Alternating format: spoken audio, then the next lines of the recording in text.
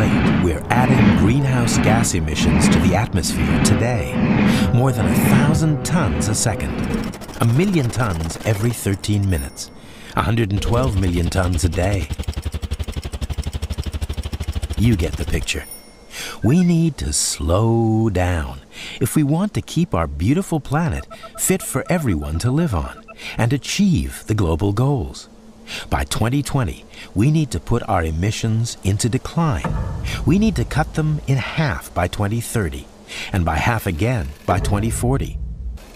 So that by 2050, we're emitting less than the planet can easily reabsorb, which is what they call net zero emissions.